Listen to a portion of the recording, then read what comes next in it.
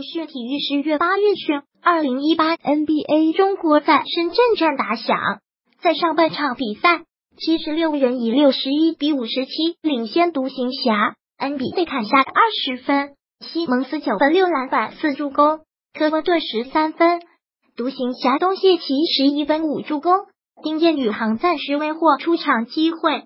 正视频直播 NBA 中国在深圳站，苏炳添助阵丁彦雨航，恩比德双手灌篮。在 NBA 中国在上海站的比赛中，董谢奇手感平平，三分球四投零中。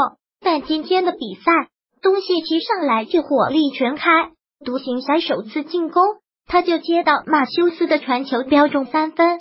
过了几个回合，东谢奇又在外线发跑。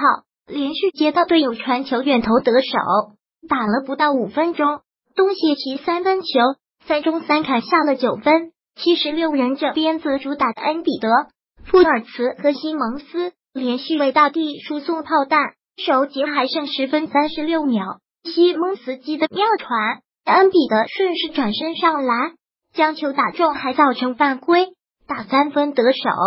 首节中断。独行侠集体找到进攻感觉，马修斯、史密斯和东谢奇连续命中中远投，鲍威尔上演了一个精彩的单手劈扣，独行侠完成了一个十三个二的攻击波，取得优势。但此后七十六人开始反，尤其是西蒙斯，他先是撞开克勒贝尔，灌篮得手，因怒吼更是对手吃到技术犯规。之后西蒙斯防守端完成抢断。迅速发动快攻，稳稳上篮得手。西蒙斯表演完后，轮到恩比德，他先是中距离跳投命中，之后时球单打到内线，一个漂亮的转身动作，然后拔起跳投，再度将球打中。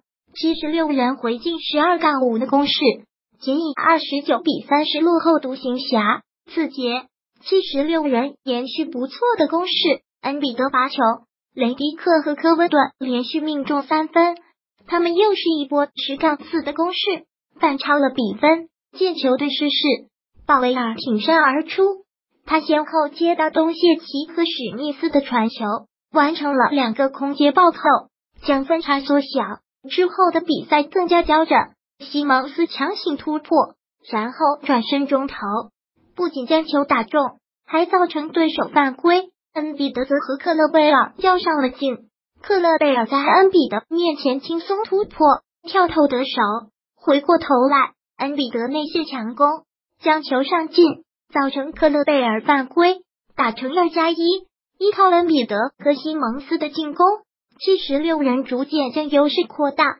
独行侠索性保持着不错的外线手感，克勒贝尔和马修斯命中两记三分。